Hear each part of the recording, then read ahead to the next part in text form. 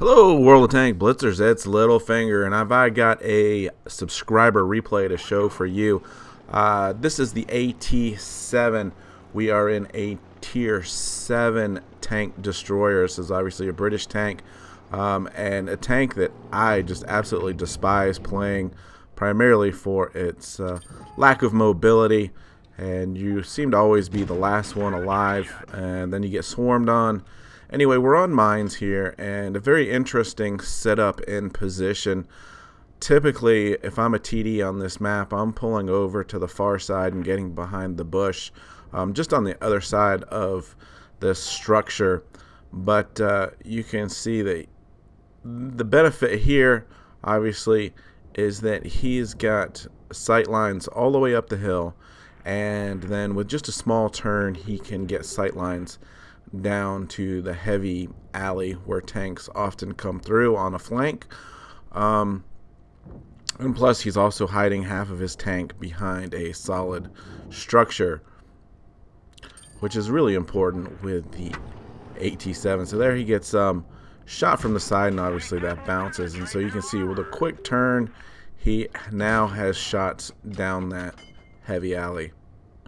And he's just popping in a few blind shots, seeing if anything will go in, hoping that he can just back that tank off. Um, one of the really nice things about this tank, uh, not that there's a lot, is the gun. So it's an actually an 83 millimeter gun with a shell velocity of over a thousand and it does have some really good penetration numbers of 226 um, you look at some of the other TDs in the class there. The Jagdpanther there was uh, 200 pen. SU 150 is a 175 pen, so at 226, um, and that's obviously without any sort of equipment or anything, does have some really nice pen. Obviously, you can see here from the damage that he's dishing out as these guys slowly climb the hill. Um, he's only doing about 190 damage per shot, so your alpha's a little low, but you do have a really fast rate of fire. 13 rounds per minute. The other part about this gun is it does have some good handling. Uh, the dispersion is extremely low at 0.28. Aim time is, is pretty good at 1.9. Um, not as good as some of the German tanks, though. So now he's just being patient, um, and this is always a great strategy one of my biggest complaints. You can see there, he even writes out patience. Um, I love it. You know, that's one of my biggest complaints about the game right now. You get these guys, they think they can do all the damage in the first 30 seconds of a game, and little do they know that they are taken out um, very quickly. Look at this through the building, nice.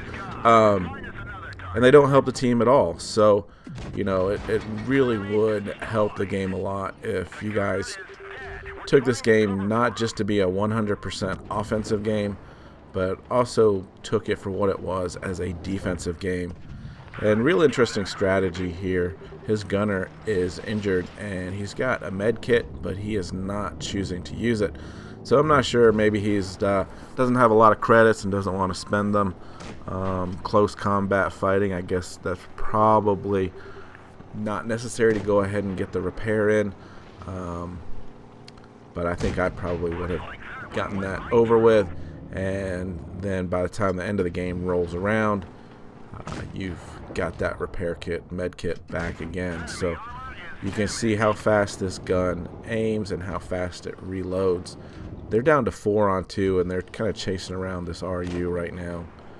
And he knows these guys are starting to come over the hill, so he's going to push on around here and get that kill in there.